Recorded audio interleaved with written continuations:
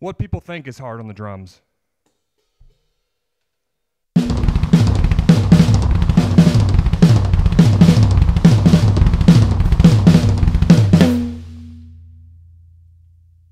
What's actually hard on the drums?